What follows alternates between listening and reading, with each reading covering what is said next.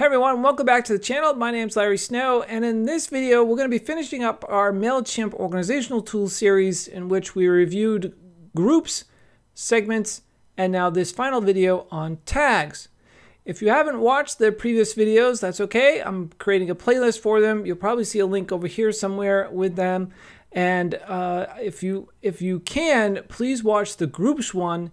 That was the first one in which I defined what are groups, segments, and tags for MailChimp. But briefly, tags are labels. It's something that you apply internally to your subscribers slash customers so that you are able to organize them a little bit better. So let's say you have uh, an influencer label or an ebook label, that type of thing. So we're going to explore tags today. I'm going to show you how you set them up and how you can email someone that has that particular tag and also do some automation, which is really cool. Stay tuned. It's coming up.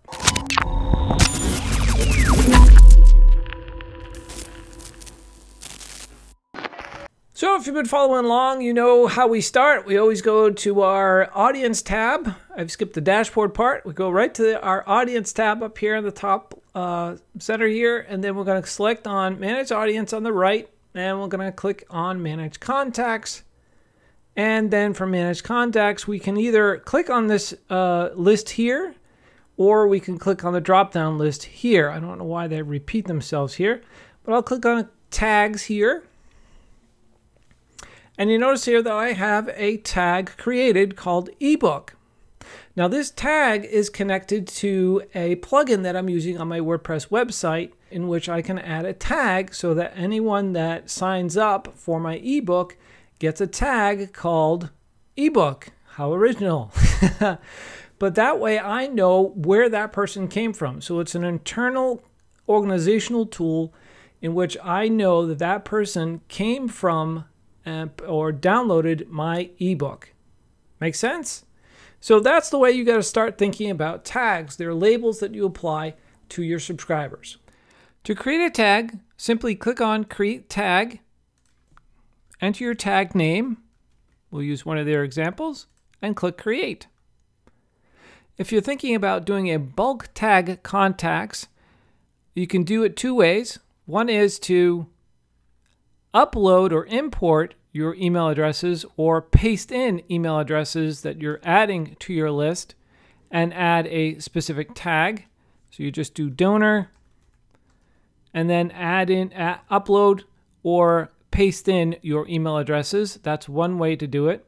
If you have an existing list, you go to View Contacts, click this little down arrow over here, and it'll say Select the Visible or Select All. So we could do Select Visible, you notice here that the navigation has changed. So you can select uh, an existing tag that we already have, or you can create a new tag here as well. So we'll just call it tag. Click on the, tag tag, not to be redundant. And then you'll see here on this column here under tags, we notice that everyone has been given a tag of tag. How meta is that? So you get the idea here. Now, the other way you can do it is individually going into your subscriber. So I'll click on me. You'll see here that I have the tag tag. And so I can add one or I can delete the one I'm already in. So that's how you manually do it for each individual subscriber. Also going back to the list, you can just select the ones that you want to apply the tag to. So it doesn't have to be all or just what's visible. You can just select the individuals that you want to apply the certain tag.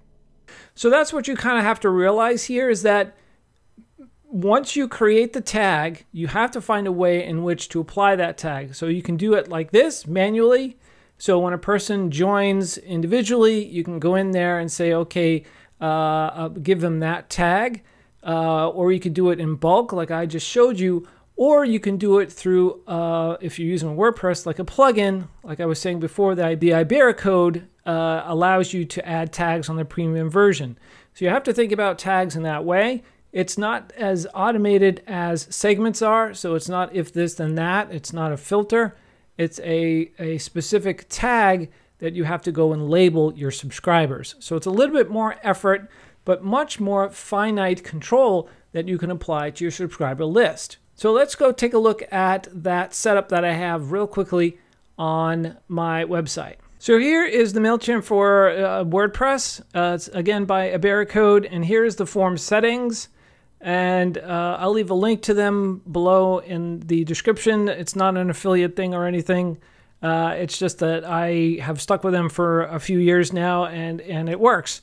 So here you can see the subscriber tag of ebook, and that's how the people getting into the my subscriber list with the ebook tag. Now, once you've created your tags, what you can do is go to your campaigns again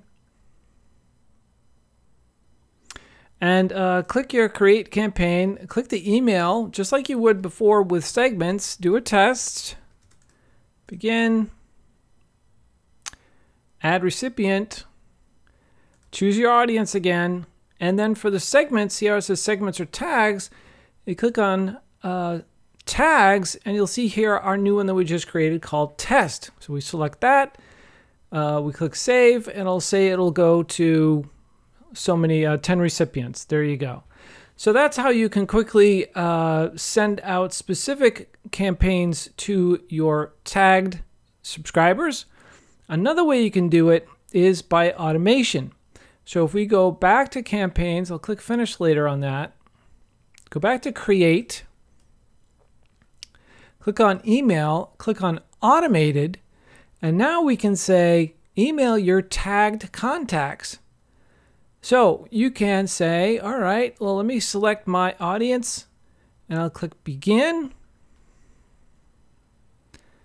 And now it's sort of like the automation that you have regularly with your email automation, uh, but now it's specific to a tag. See here it says, please select a tag in this case. So you click edit and then uh, use your time frame, whatever it is, and then select your tag. So in this case, it will be test. And then you click on update trigger, create your email that you want to go out through the automation process. And away you go. If you want more information on automation, click the link that's above you right now. So I did a video on that that will help you out. So there you go, guys. That is a quick look at tags on MailChimp, and it's the last in the series of organizational tools that MailChimp offers to better control you and manage your subscriber list. Uh, I hope these videos have been useful. Again, if you have any comments or questions on MailChimp tags, uh, segments, or groups, post in the comments below. If you're enjoying this type of content, please click the subscribe button and also that bell icon so that you get notified when a new video goes up on the channel. For more about me, go to larrysnow.me and I'll see you in the next video.